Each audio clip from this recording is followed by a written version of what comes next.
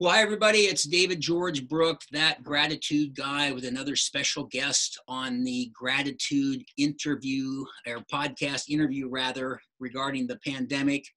And as I was thinking about this special guest with special emphasis on the word special, about how many years I've known this young lady, and it goes back quite a few years when we were both working for a uh, uh, let's just say a retail outlet.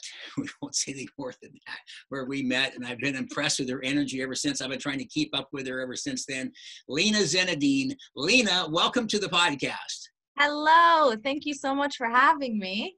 You bet. You bet. So I mentioned just a little bit earlier that I'm trying to help people that maybe don't have some of the drive and imagination and type of things that some of us are blessed with, and you're certainly one of those examples. So first question What has been your best coping mechanism to deal with this pandemic and this madness that we're in now, about our sixth or seventh week, I think? What has been working best for you to kind of plow your way through this? Um, I would say the main thing, honestly, that I focused is everything that I was. I look at my body as like my temple.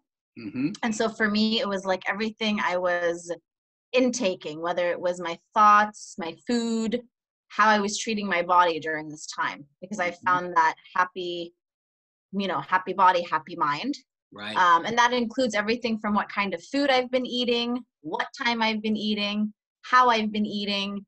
Um, you know, for example, eating slow, eating fast, uh, and taking a bunch of sugars because I'm just hungry, or actually putting together meals, um, and then honestly just 20 minutes of exercise like five times a week instead of making some massive goal that's going to overwhelm me just very very very small basics starting with that to create some good habits.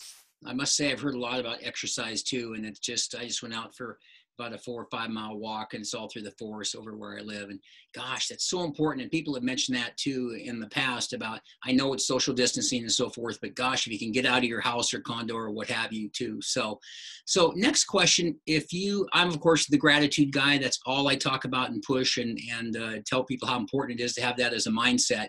Did you notice since this has happened, what you're grateful for? Has it changed for what you're grateful for today versus say six or seven weeks ago?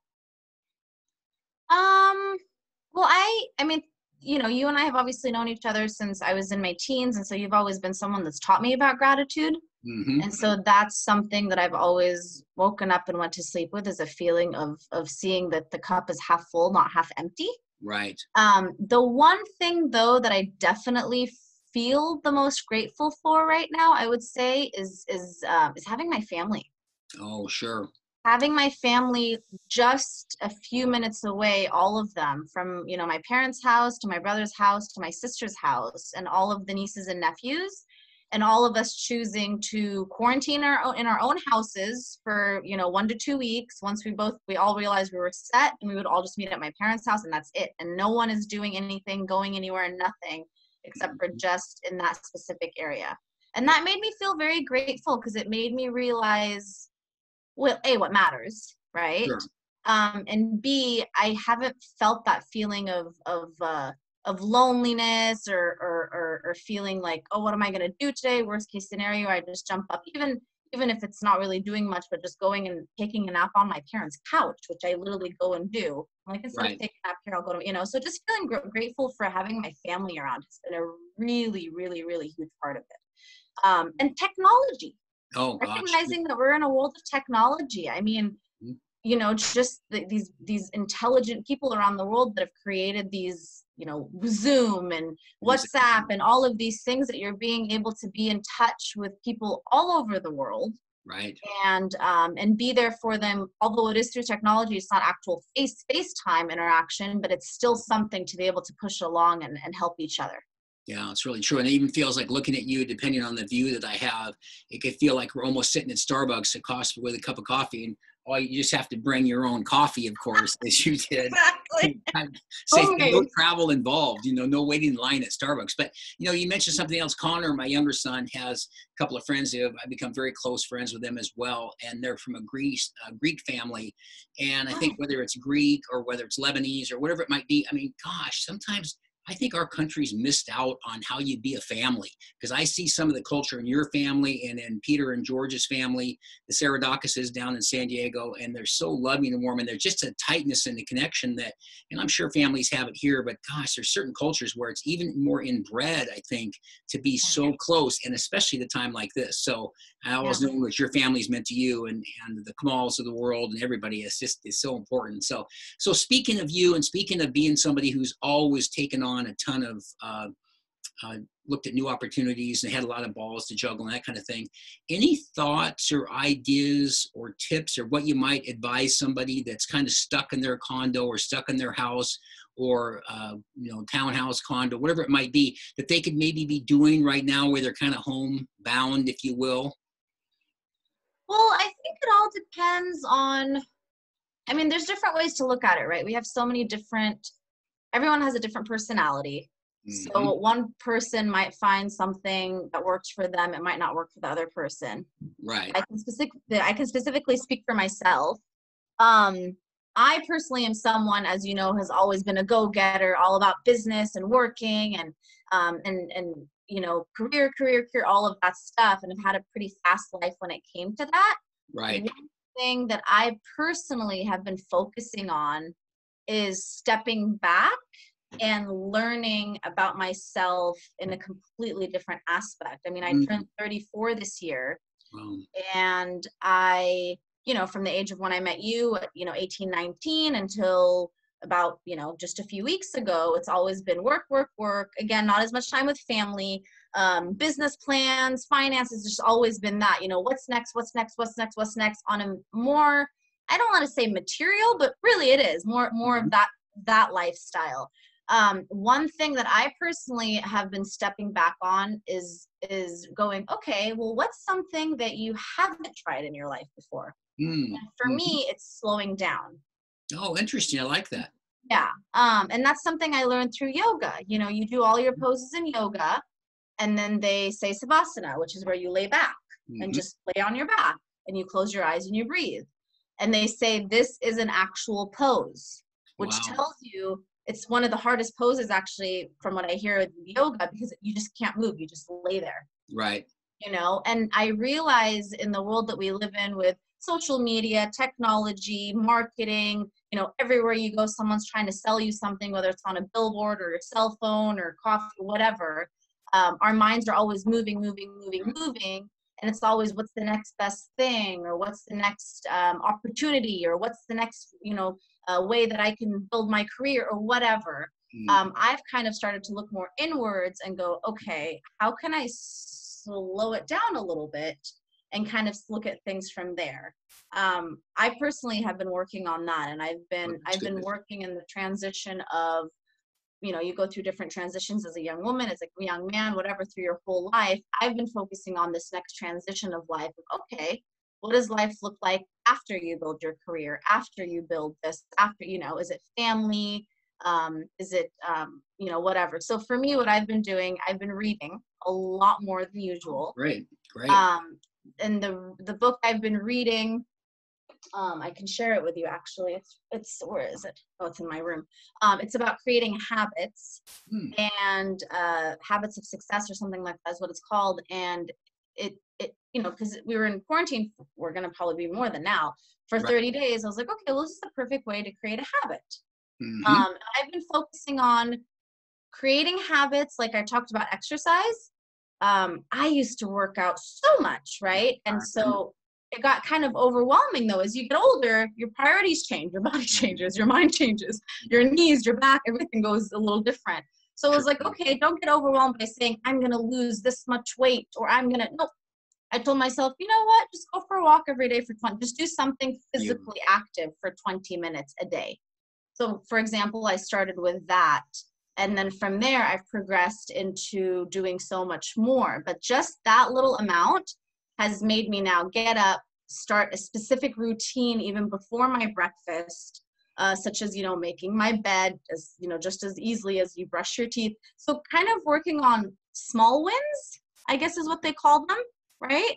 yeah. instead of overwhelming yourself because that's what we do all the time we overwhelm ourselves in the big world with all these big pictures big things i want to buy a house i want to do this whatever it is that your goal is i want to get this promotion i want to save money i want to and Well, it's And I think that's that's such a great observation because I think kind of the antithesis of what you're talking about is the multitasker. Can you do 19 things at once? And can I do this? And as you say, it's the big house, and everybody cries, "Oh, oh, you think you're busy? I'm twice as busy as you are." I get that all the time from people. That's nothing. I'm leaving for here. I'm taking off there and buying this and so forth. So my follow up question on that, because this is really interesting me, knowing you as well as I do, and I think it's pretty well did you have was there sort of a turning point or did something kind of snap your fingers or all of a sudden make you all of a sudden realize gosh rome wasn't built in a day i don't have to be because you've always been at kind of a breakneck pace and going Yeah. and doing things. And it's the shoe business it's working here and it's doing this and doing these jobs and working on this and doing the fragrance thing. And, and no matter what it was was there something that happened or was it more sort of a gradual shift? Because just hearing you say this today is i think is really cool. And again knowing you as well as i do about really stepping back and saying i, I think i need to, to take a little less less intense look at all this. So did Yeah. something happen that made you switch kind of? Well, yeah, I would say two two things happened. Number one is I recognized I'm a really good failure. Hmm. I'm really good at failing. I'm really good at saying I want to do something and actually not doing it to the top prior to the top that I wanted to. right And that and I say I'm a good failure and that it's something I'm proud of because I'm able to that is kind of what I, I was, you know, building, building. I created business, I closed, I was just so many things that I just kept. And I realized I would create this goal, work myself to the bone, Mhm. and then I would still feel like, well, that's not enough. I want more. I want more. Well, with that, I still kept feeling like I was. And I don't know if failure is a hard word to use, but Right. really, I felt like I didn't. I didn't accomplish exactly what I wanted. Therefore, in my mind, I failed. And I was like, well, I'm actually really good at this because when I was down, you know, on my knees, I'm able to get up, brush my legs off, and go, wait a minute. Well, what did you set yourself up for? Um, for small wins or big wins? Again, we go back to that. Mhm. Um, and then I think the second thing is um, I was blessed with meeting an individual uh, before the quarantine. Mhm. Um, I was blessed with meeting this gentleman who is now my partner, who taught me after seeing his life and seeing, you know, because he's from the Middle East, he's gone through the wars, he went through the um, the the you know you're, you're saving and then you put all your money in the bank and the government takes it like just all of this crazy third world stuff that we don't really see here in the united states. Right. And then watching him and meeting him i would have you know i'm like wow this guy's done so much. Like this is amazing. But then when he tells me his story i'm like wow. Had i gone through the experiences that you've gone i would have lost my mind. Mm. um, but instead he's just keeps such a cool positive attitude which has Wow. kind of made me recognize okay lina you know what step back just a little bit and kind of start to look at things a little differently because it's not just about um, setting these massive goals it's, it's about rebuilding constantly building your foundation and your foundation is yourself which is where this whole thing about healthy body, healthy mind, what kind of thoughts are going through my head, what kind of food am I eating, you know, Mhm. um, little things like that that really, really do change your emotional uh, po- point of view when you're looking at things, um, you know, and then just have you have a different mindset. That's excellent. That's really good. So, last question, and again, I go back to the amount of time I've known you, but 34 years old and been on the planet uh, this number of years. Do you have sort of whether I would call it a quote or a mantra or maybe a saying or maybe something that kind of represents your overarching approach to your life and maybe me now getting through something like this this has been six or seven weeks something that's kind of gee david here's my philosophy that i kind of use to guide me do you have anything like that that kind of sets you in the right direction Um, I do. It's actually a really interesting sentence that I tell myself a lot.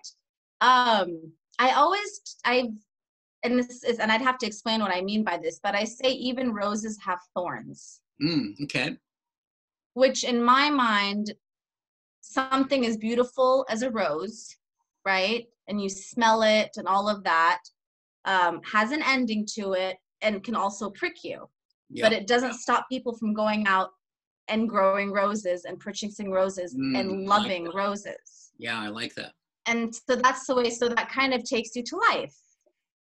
life is going to have its pros and cons all the time um and and your your your biggest defeats and your biggest losses will teach you actually the most because it'll get you to No pay question. attention more No and question. it'll calm down that ego and then you can celebrate the wins which is the, the the beauty and the visual and the scent of the rose No question. Yeah, excellent stuff. And you know, it's interesting. Another version of that that I always say too is you can't appreciate up until you've seen down. And I think your most lessons come from the down stuff, the things that you really can take uh, take a lot of solace in and know that you're learning something all the time. And in fact, it was interesting that who was it that said too, you can't learn anything when you're talking.